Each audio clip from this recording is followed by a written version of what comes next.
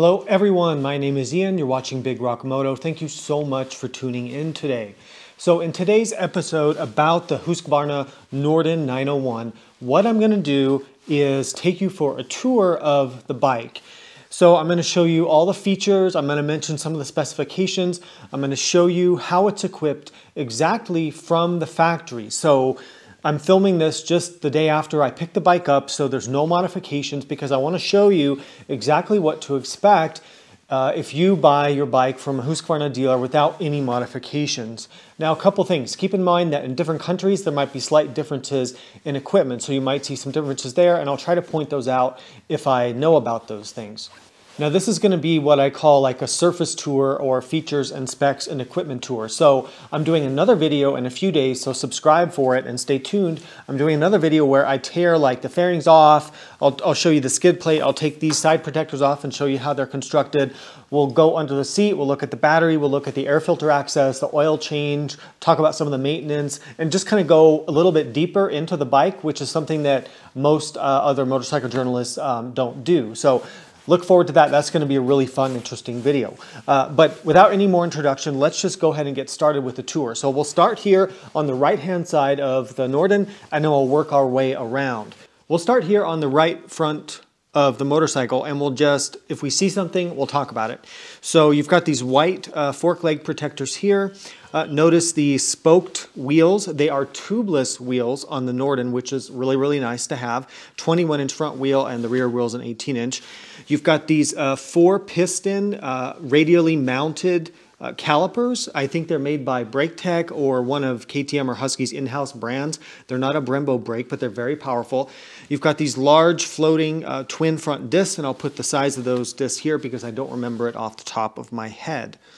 So for tires, Husky gives you the Pirelli Scorpion Rally STRs, which are a pretty nice uh, tire for 50 50-50 riding, so 50% off-road, 50% on-road. Uh, so far, they're working really well on the highway, but I haven't tested them in the dirt just yet. You'll also notice the low front fender. So they chose to use a low front fender, I believe, one for styling and two because it creates less wind drag and less wind buffeting on your handlebars and on, on your body uh, when you're on the highway. So it doesn't catch the wind as bad and it kind of matches the styling of the bike. Some people will want to fit a higher fender and we'll have a video about that later.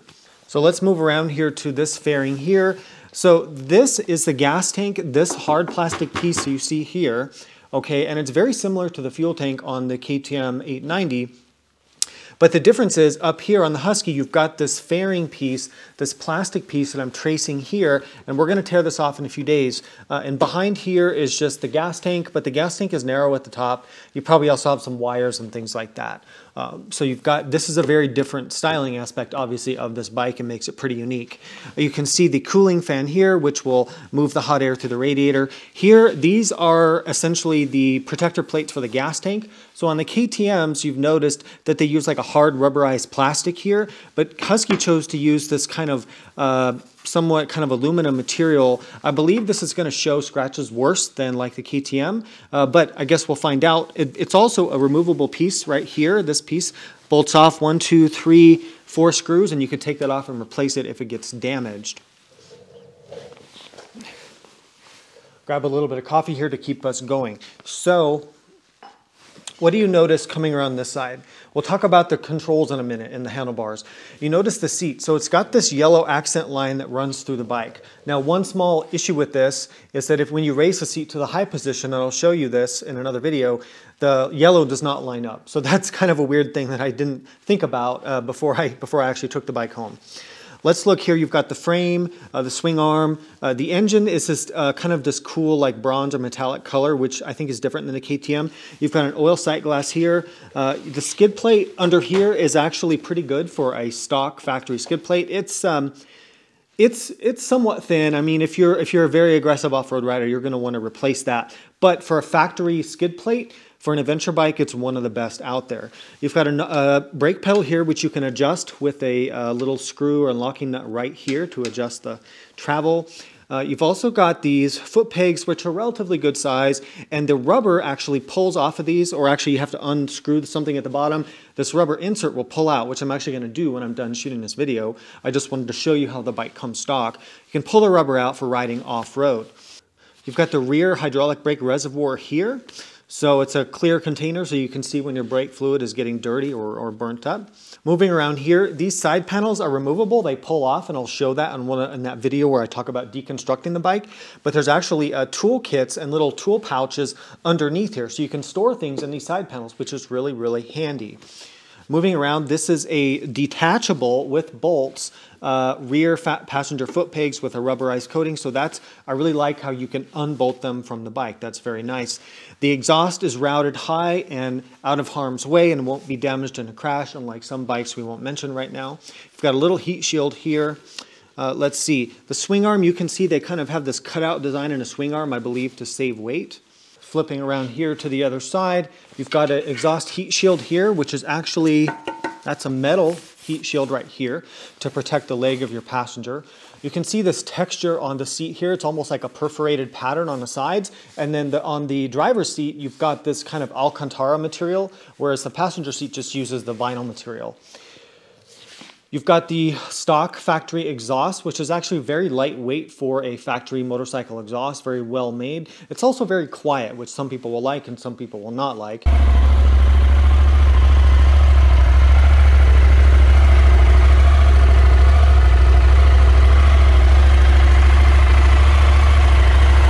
Moving around to the rear axle attachment here, you've got the chain adjustment, the axle ABS sensor on the rear wheel, a large disc brake at the back with two pistons, and I mentioned the tubeless 18-inch rear wheel with the Pirelli Scorpion Rally tire. Looking at the Norden from the rear, uh, you've got the license plate hanger with reflectors and the integrated uh, LED brake and tail light, which are actually pretty bright, and I'll put a little video of that here. Uh, in the US, unfortunately, we get these crappy incandescent turn signals, which I am replacing with LED turn signals as soon as I get the chance, and I'll have some video or some mention of that, and I'll give you a link to that. Uh, the rear section, the, the whole mechanism here is nice and compact. They didn't extend it way down like some bikes, so I don't see any reason to need to modify this or get a tail tidy uh, because they've, they've already made it pretty compact. So good job there. You can see the large exhaust outlet here, and you can see the back of the rear rack. That's about it for the back. So let's turn around to the other side. Working our way around the left-hand side of the motorcycle, starting from the back, uh, you can see the luggage rack, the passenger grab handles, which are pretty ergonomic. You've got the other side panel, which I mentioned, these pull off, and you've got the tools underneath. Passenger foot peg here. The chain guard, which is nice and sturdy. The chain final drive. We've already talked about the wheels and tires. There's a small mud guard in here to help prevent some of the mud from coming up uh, to the shock. So I like how they protected the rear shock kind of from mud. That's a good design. It's also got another kind of protector here on the top of the shock. You've got the catalytic converter inside here. Uh, my bike has a battery tender pigtail. I don't know if my dealer put that on or if that's something that Husqvarna is doing from the factory. The preload adjuster for the rear shock to accommodate passengers or luggage, the extra weight is right here, and that's nice and easy to spin by hand. Uh, then you've got, I mentioned the foot pegs already. I'll probably be replacing them with a larger foot peg. You've got the gear shift linkage, which is this uh, turnbuckle style adjustment, which is really easy to adjust, so I appreciate that. This wire you see here is actually not stock. I rode the other night. It was very cold. I live in the mountains, so I use a heated jacket liner. So that's the wire for that. So that does not come with the bike. Uh, also, this sticker obviously does not come with the bike. I just like the way it looked.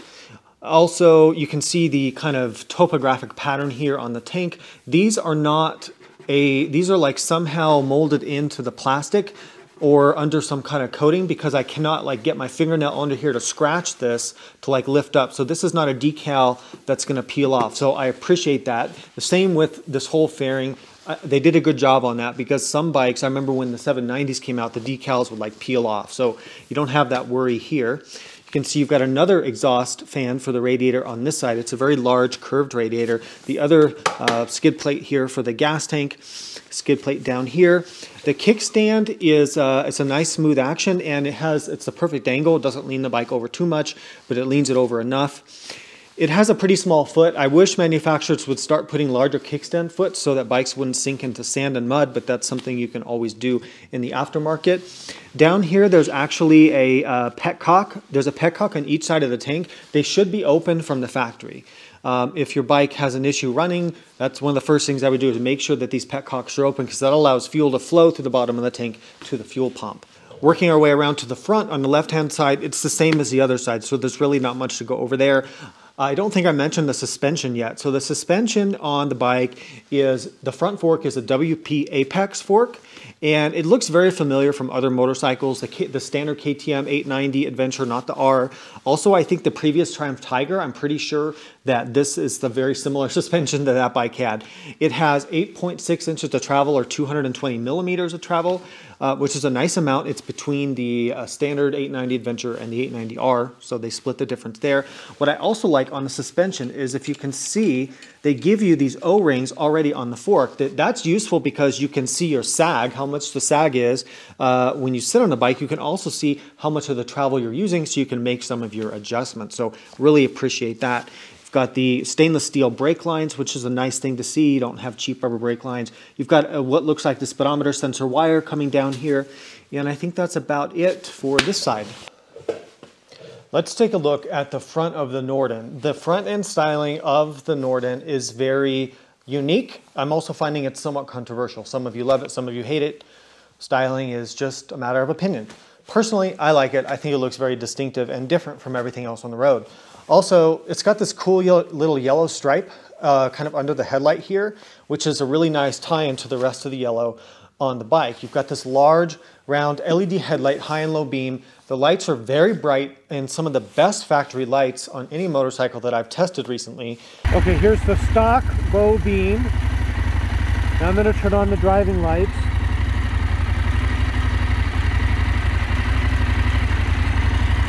There's the driving lights. We turn them off again. You see how it spreads out light to the sides?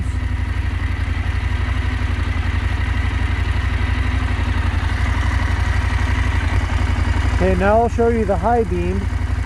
There's the high beam there. High beam, low beam, high beam. Turn off the driving lights. You see how those driving lights add a lot of fill light.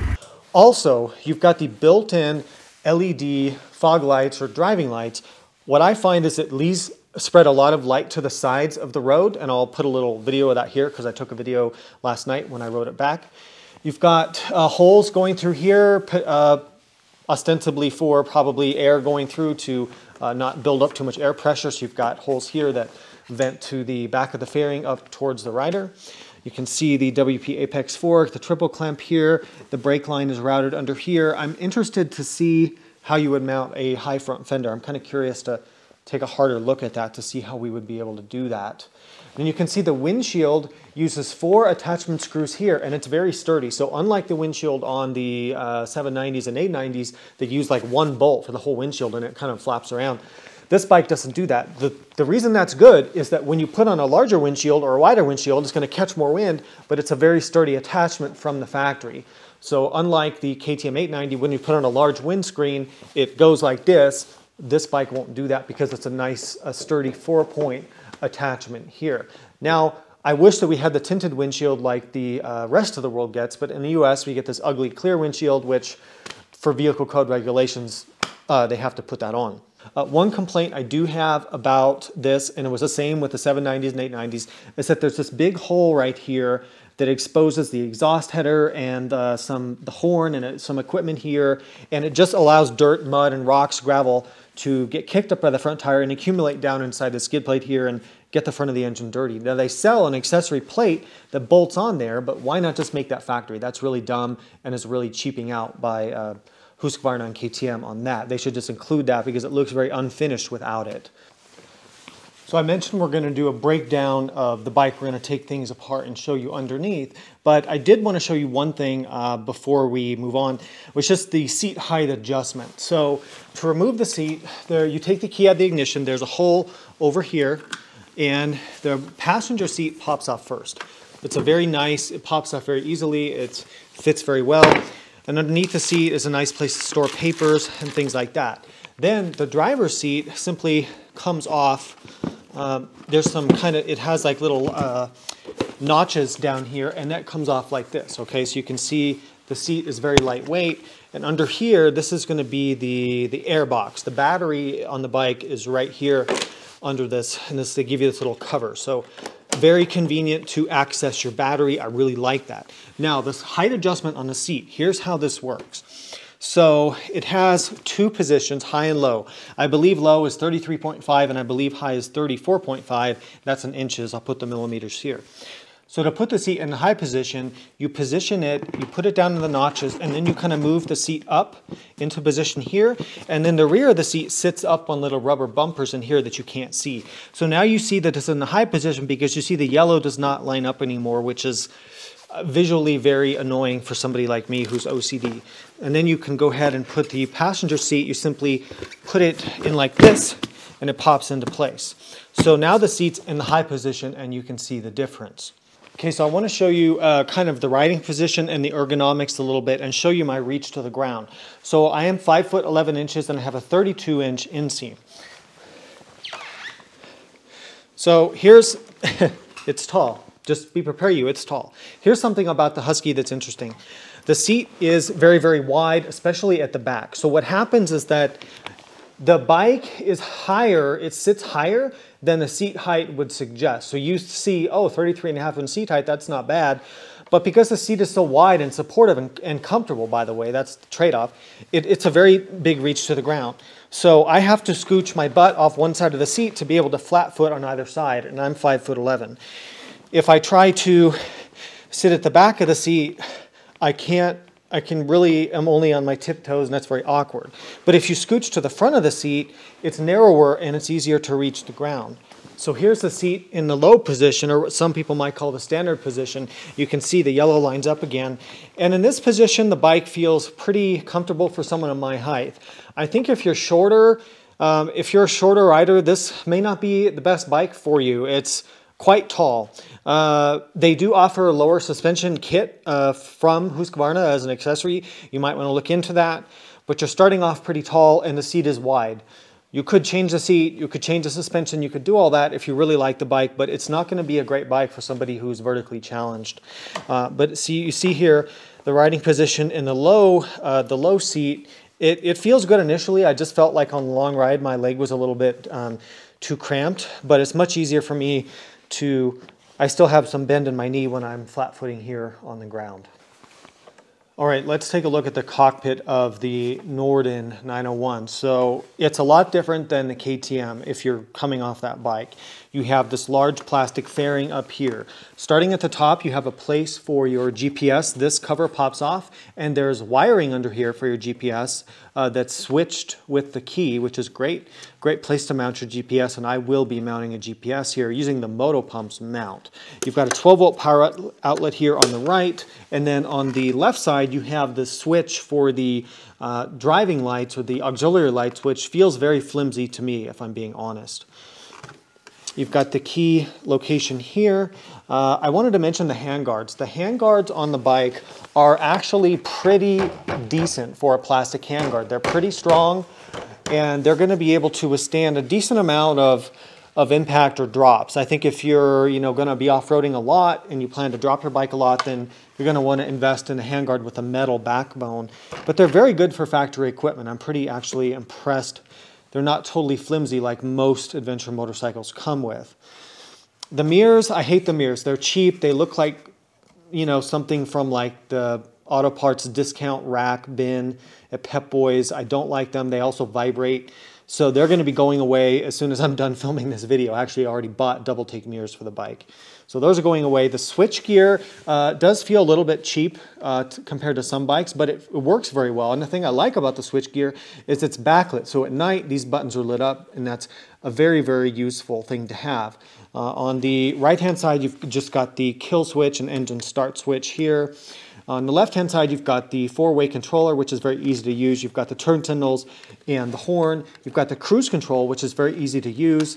You simply uh, uh, tap it to the left to activate it, and then you can set up and down your speed there. And the high beam is on the front of the switch gear there. Also, the control levers are fully adjustable uh, for reach, both of the control levers, so I really like to see that.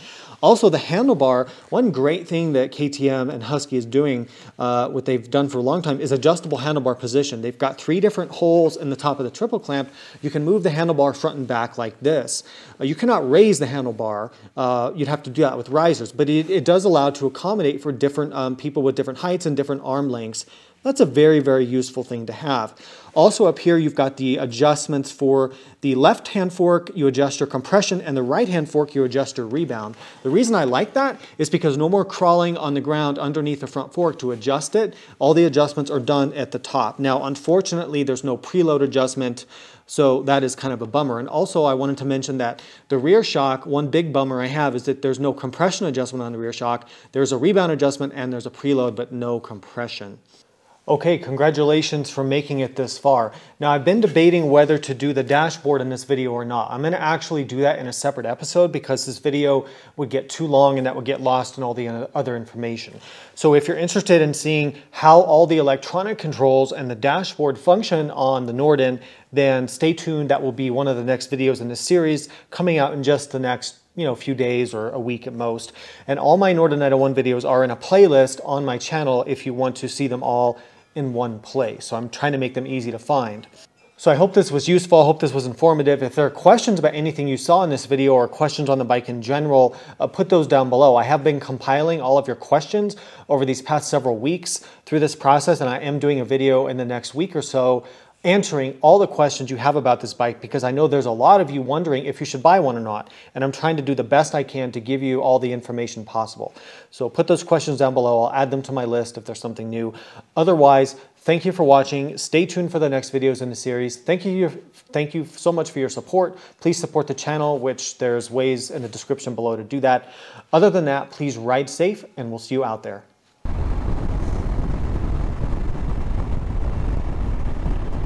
So 65 miles an hour, you can hear the wind. It's windy and it's noisy. So, you know, like I said, I'm going to be looking to do something about that. The brakes, man, the brakes are so good on this.